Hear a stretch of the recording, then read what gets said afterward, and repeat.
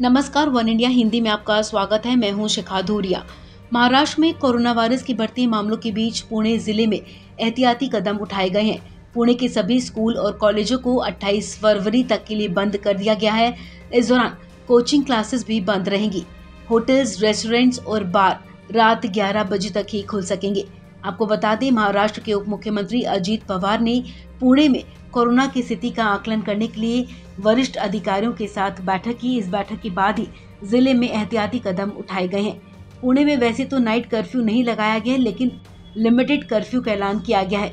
इसके तहत रात 11 बजे से सुबह 6 बजे तक लोगों की बेवजह की आवाजाही पर रोक रहेगी। बेवजह घूमने वालों पर कार्रवाई की जाएगी। इस दौरान लोग सिर्फ़ ज़रूरी काम के लिए बाहर आ सकेंगे।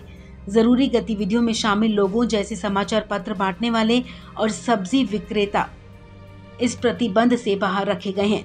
इसके अलावा पुणे में शादी समारोह, सम्मेलन या फिर सार्वजनिक कार्यक्रमों में 200 से ज़्यादा लोगों के शामिल होने की अनुमति नहीं होगी। सभी तरह के कार्यक्रम के लिए पुलिस की लिखित अनुमति अनिवार्य है। वहीं पुणे में कोरोना टेस्टिंग को बढ़ा दिया गया है। कोरोना के बढ़ते खतरे को देखते हुए कोरोना के संक्रमितों की संख्या के मामले में पुणे का नंबर महाराष्ट्र में बारवा है, लेकिन प्रशासन पूरी हरकत में आ गया है।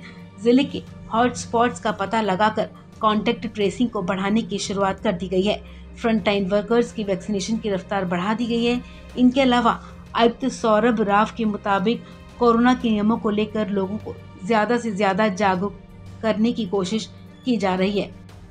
आपको बता दें कि पुणे में शनिवार को एक दिन में कोरोना संक्रमण के आठ सौ उनचास नए मामले सामने आए हैं। इसके साथ ही पुणे में कुल केस बढ़कर तीन लाख सतानवे हज़ार चार सौ इकतीस हो गए हैं। पुणे में छह लोगों की मौत के साथ कुल मृतकों का आंकड़ा नौ हज़ार एक सौ सतहत्तर पर पहुँच गया है। इस खबर में फ़िलहाल इतना ही। तमाम अपडेट्स के लिए आप बने रहिए वन इंडिया हिंदी के साथ।